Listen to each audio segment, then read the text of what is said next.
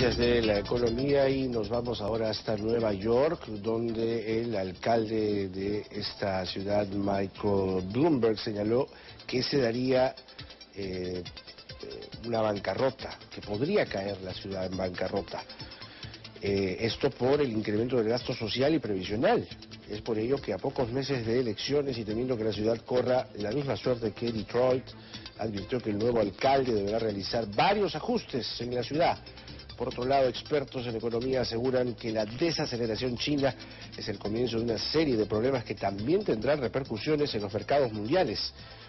El gigante asiático no va a importar la gran cantidad de productos que anteriormente necesitaba para aumentar sus capacidades productivas.